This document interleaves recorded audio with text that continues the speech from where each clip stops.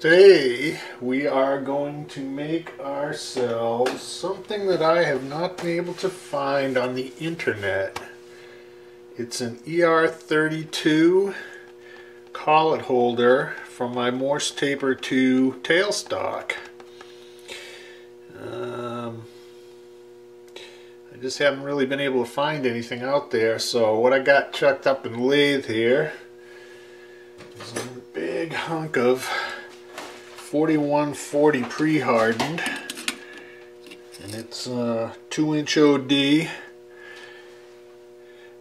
we're going to turn this end down to 700 thousandths for the Morse Taper 2 thread, uh, taper.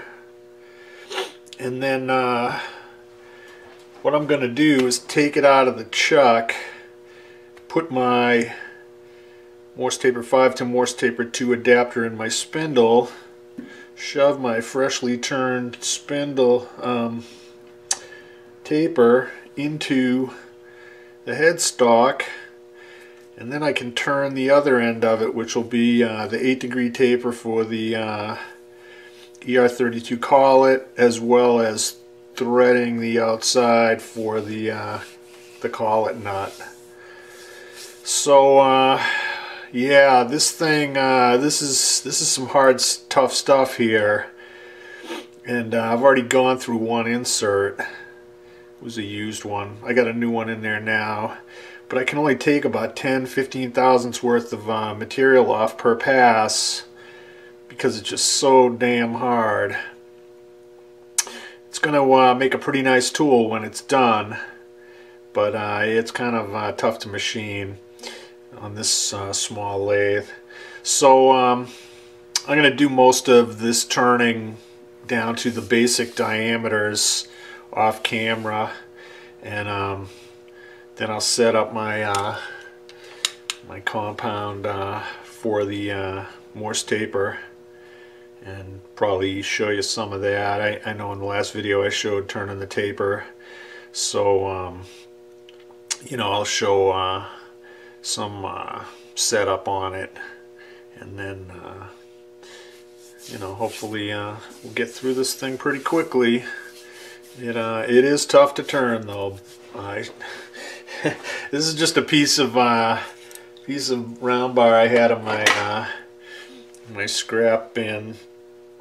I had regular mild steel 1018 in 2 inch but figured what the heck I might as well make this thing into a real durable tool so that's what I'm doing here. Um, I'll be back at you when uh, when we uh, get going more on this thing. Oh yeah baby.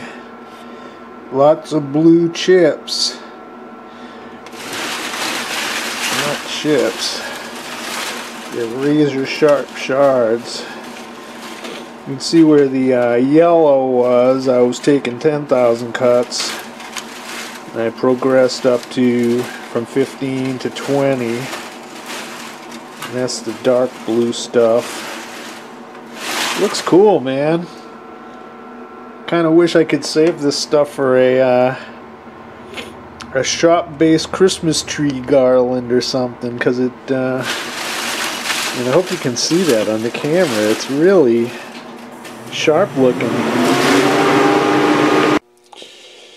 Okay, so uh, I got this thing set up for my taper. And uh, did my little uh, taper adjustment. So now we're on a Morse taper 2. And I learned something here. See this cable? Goes to my taper motor.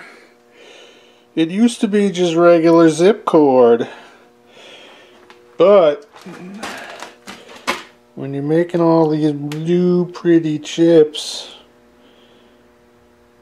I guarantee you that one of these red hot things is going to land on that wire and melt it. And when it melts it, it's going to blow the crap out of your wall wart. So, I put some uh, put some braid over that cable. And I rerouted it a little bit so that it wouldn't be laying in the chip pan. And um, I took my wall wart apart and fixed it so everything's back happy again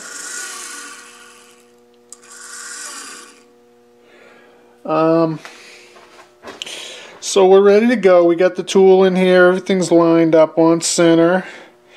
Um, this part right here is turned down to about 705. There's a taper, so it's about 705 up here and about 700 down here. Ooh, got to tighten that in there. Um, don't care because I'm going to turn this end down even more so the little taper won't make a difference. Um, so yeah, that's about it for this one. I'm gonna go in and make some make some dinner, and um, I'll be out here tomorrow, and we'll hopefully finish this thing up. Um, we're gonna have to turn some metric threads over here, and um, on the inside of this thing, there's going to be an eight degree taper. So this is kind of a fun little thing here. Lots of different things to uh, set up for. So we'll see you tomorrow. We uh, we'll turn this taper tomorrow. And then like I said, once we get this down to a good Morse taper 2 fit, we'll take the chuck off and we'll put this this thing in the in the spindle and we'll take this taper that we turned put it in there this thing will be around, you know, facing the other way. And then we can turn this and we'll be guaranteed that we'll be concentric with the spindle. Not that we really have to be within a thou or anything, but it's good practice to make it as accurate as possible. Um, you know, I already have a, uh, a collet chuck I made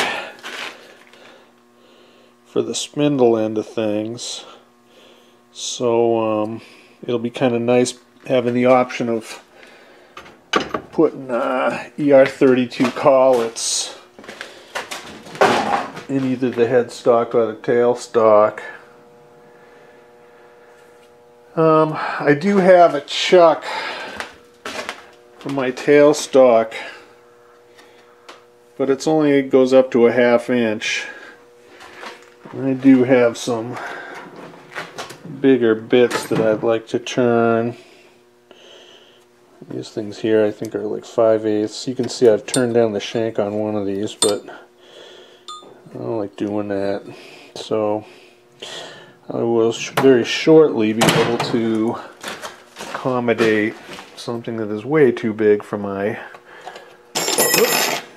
my uh, tailstock which is I think uh, I don't even know I can't even read it but I think it's uh, 11 sixteenths or something like that. So uh, yep we'll see you tomorrow. Bye bye